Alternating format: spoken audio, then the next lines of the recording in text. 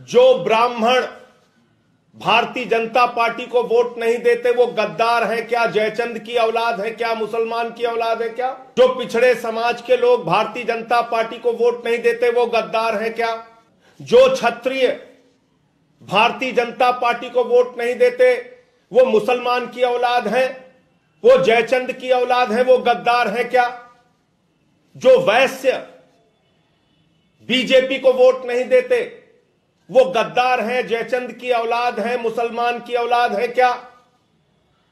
मैं पूछना चाहता हूँ मोदी जी आपसे। मैं पूछना चाहता हूँ, गद्दार कौन है? क्या बच्चों को, हमारे बच्चों को नमक रोटी खिलाने वाले वो गद्दार नहीं है?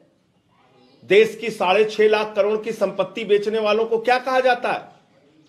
आप बताइए मुझे। तो इसलिए मैंने ये चुनाव आयोग को शिकायत की है कि इसका संज्ञान लें और ऐसे व्यक्ति को चुनाव लड़ने से प्रतिबंधित करें। और आदरणीय नरेंद्र मोदी जी से, आदरणीय जेपी नड्डा जी से और आदरणीय मुख्यमंत्री आदित्यनाथ जी से इसका स्पष्टीकरण मांगे। ऐसे व्यक्ति को उन्होंने टिकट क्यों दिया और अब तक उन पे कार्रवाई क्यों नहीं की?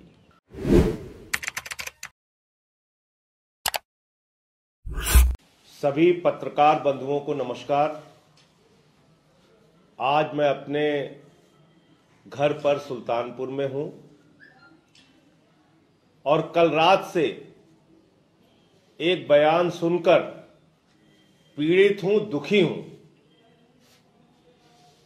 देश के करोड़ों हिंदुओं को भारतीय जनता पार्टी का विधायक खुलेआम गाली दे रहा है। जयचंद की औलाद कह रहा है, देश के करोड़ों हिंदुओं को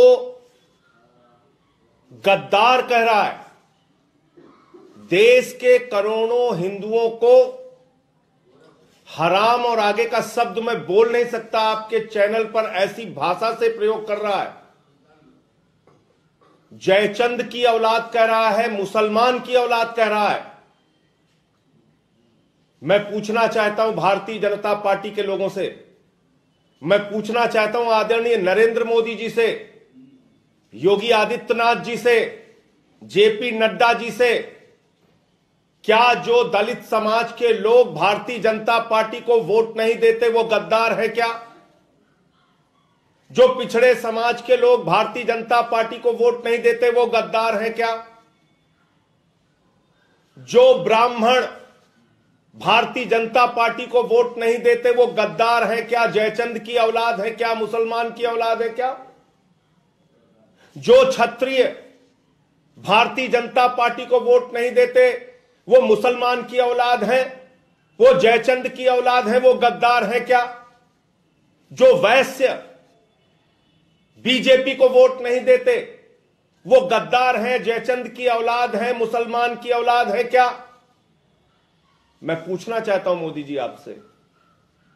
मैं पूछना चाहता हूँ आदित्यनाथ जी आपसे मैं पूछना चाहता हूँ जेपी नड्डा जी आपसे, आपका ये विधायक इस प्रकार के बयान दे रहा और अब तक आप खामोश हैं करोड़ों हिंदुओं के अपमान पर। देश के करोड़ों हिंदुओं को गाली दी जा रही है और आप सारे लोग खामोश हैं। ऐसे कैसे हो सकता है? अगर हमने बीजेपी को वोट नहीं दिया तो हम अपने माँ बाप की नाजायज औलाद हो गए। भारत का संविधान बाबा साहब डॉक्टर भीमराव अंबेडकर के द्वारा रचित संविधान हमें अपने मर्ज़ी से वोट देने का अधिकार देता है।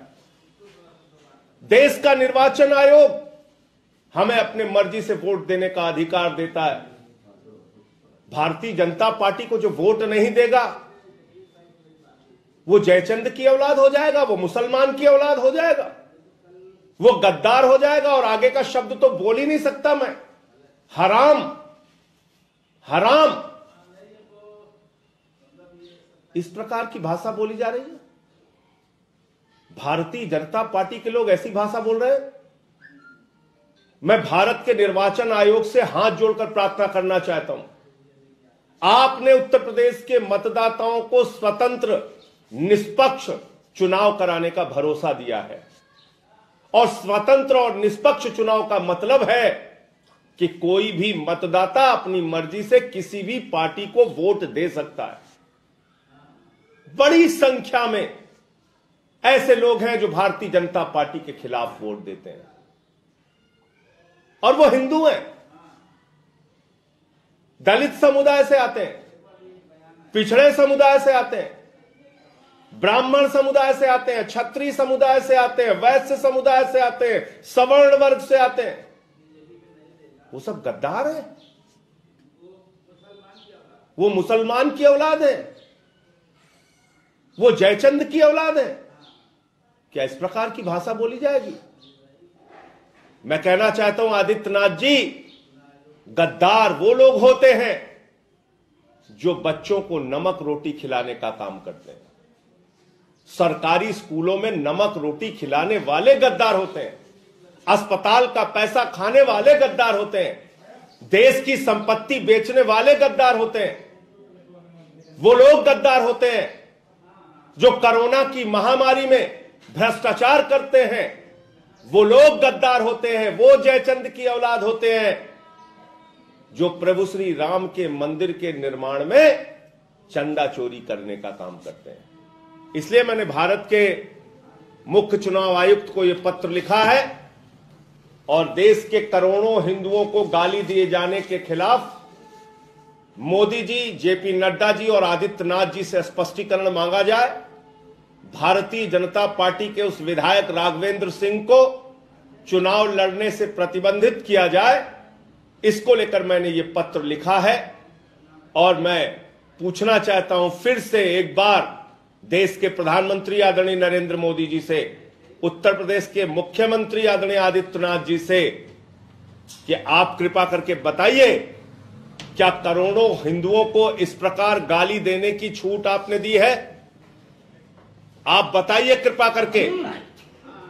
मैं निवेदन कर रहा हूँ आपसे, आप बताइए क्या जो बीजेपी को वोट नहीं देगा, वो गद्दार है क्या? वो जयचंद की औलाद है क्या? वो मुसलमान की औलाद है क्या? क्या वो हराम? आगे का शब्द फिर कह रहा हूँ, नहीं बोल सकता। ऐसी गालियाँ दे रहे हैं आपके लोग? देश के करोड़ों हिंदुओं का अपमान कर रहे हैं? अरे, हम अपने माँ बाप की औलाद हैं और हम भारतीय जनता पार्टी को वोट नहीं देते। एक नहीं, एक हज़ार बार इस बात को कह रहा हूँ। मैं अपनी पिता का, की औलाद हूँ, अपनी माँ का औलाद हूँ, और मुझे फक्र है इस बात का कि मैं अपनी माँ बाप की औलाद हूँ, लेकिन भारतीय जनता पार्टी को वोट नहीं देता। ऐसे बहुत सारे छत्री हैं, ब्राह्मण हैं, वो खुशी दुबे की माँ। अगर वो बीजेपी को वोट नहीं दे रही है तो वो गद्दार है। वो प्रभात मिश्रा जिसका फर्जी इनकाउंटर आपकी सरकार ने करा दिया, उनके घर के लोग अगर बीजेपी को वोट नहीं दे रहे तो वो गद्दार है। वो ब्राह्मण समुदाय के लोग जिनके ऊपर आपकी सरकार ने अत्याचार किया, वो नौजवान जो लाठियों से पीटे गए, वो किसान जो सड़कों पर बैठे रहे, साढ़े सात सौ किसान शहीद हो गए। वो कोरोना की महामारी में नदी के घाट पे जो लाशें पाई गई उनके परिवारों के लोग अगर बीजेपी को वोट नहीं दे रहे हैं तो क्या वो गद्दार है, जयचंद की औलाद है, मुसलमान की औलाद है? मैं पूछना चाहता हूँ आदित्यनाथ जी से और मोदी जी से, और उत्तर प्रदेश के सभी हिंदू मतदाताओं से यह अपील करना चाहता हूँ, इस गाली को, इस अपमान को अपने वोट की ताकत से जवाब देने का काम कीजिएगा। मुझे सिर्फ़ इतनी बात कहनी थी, आपका प्रश्न।